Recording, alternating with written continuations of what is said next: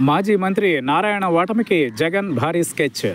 ఏపీలో ఎన్నికల రాజకీయ పోరు హోరాహోరీగా మారుతోంది. మూడు పార్టీల కూటమి వర్సెస్ వైసీపీ పోరు పతాక స్థాయికి చేరింది.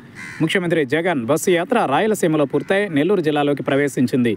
ఈసారి నెల్లూరు జిల్లా రాజకీయం ఆసక్తికరంగా మారుతోంది. అక్కడ రెండు వేల పంతొమ్మిది తరహా విజయం సాధించేందుకు జగన్ పావులు కదుపుతున్నారు.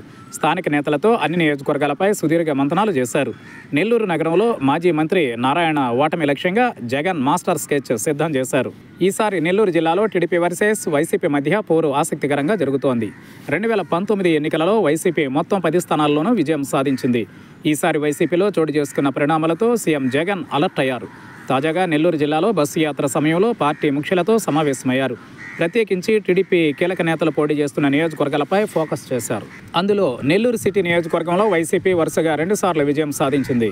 రెండుసార్లు మాజీ మంత్రి అనిల్ కుమార్ యాదవ్ వైసీపీ అభ్యర్థిగా గెలుపొందారు. ఈసారి నెల్లూరు సిటీ వైసీపీ అభ్యర్థిగా మైనారిటీ వర్గానికి చెందిన ఖలీల్ అహ్మద్కు సీటు కేటాయించారు.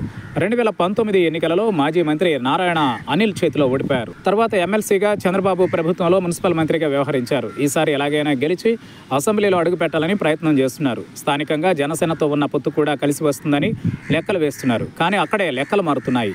టీడీపీ జనసేన నుంచి ముఖ్య నేతలను తమ వైపు తిప్పుకునేందుకు వైసీపీ ఆపరేషన్ ప్రారంభించింది. నెల్లూరు నగరంలో అమలు చేసిన సంక్షేమం గురించి పార్టీ నేతలు డోర్ టు డోర్ క్యాంపెయిన్ చేస్తున్నారు. కరోనా సమయంలో నెల్లూరు నగరంలో అందించిన సాయం గురించి గుర్తు చేస్తున్నారు. నారాయణ పూర్తిగా డబ్బుతో రాజకీయం చేయాలని ప్రయత్నిస్తున్నారని వైసీపీ నేతలు ఆరోపిస్తున్నారు. ఇదే సమయంలో మైనారిటీ ఓటు బ్యాంక్ పూర్తిగా వైసీపీ వైపు టర్న్ అవుతున్నట్లు స్పష్టమవుతోంది. గతంలో వైసీపీలో పనిచేసిన నేతలు ఇప్పుడు పార్టీ మారడంతో స్థానికంగా టీడీపీ జనసేనకు జోష్ వచ్చినట్లు భావిస్తున్న కార్యకర్తలు ఓటర్లు మాత్రం వారి పట్ల విముఖంగా ఉన్నట్లు సర్వే నివేదికలు స్పష్టం చేస్తున్నాయి. దీంతో పాటుగా సామాజిక సమీకరణాలు సంక్షేమ పథకాలు పూర్తిగా వైసీపీకి అనుకూలంగా ఉన్నట్లు గుర్తించారు. నారాయణతో ప్రచారంలో పాల్గొంటున్న ముఖ్య నేతలతో ఇప్పటికే వైసీపీ టచ్లోకి వెళ్ళినట్లు తెలుస్తోంది. నెల్లూరు సిటీలో పరిస్థితులపైన స్వయంగా సమీక్షించిన జగన్ కొందరు ముఖ్య నేతలకు బాధ్యతలు అప్పగించారు. ఎన్నికల సమయంలో నెల్లూరు సిటీ నియోజకవర్గంలో రాజకీయంగా అనూహ్య మార్పులు జరుగుతాయని వైసీపీ నేతలు చెబుతున్నారు. తామే గెలుస్తామని టీడీపీ ధీమా వ్యక్తం చేస్తున్నా క్షేత్రస్థాయిలో పరిస్థితులు మాత్రం భిన్నంగా ఉన్నాయనేది స్పష్టమవుతోంది.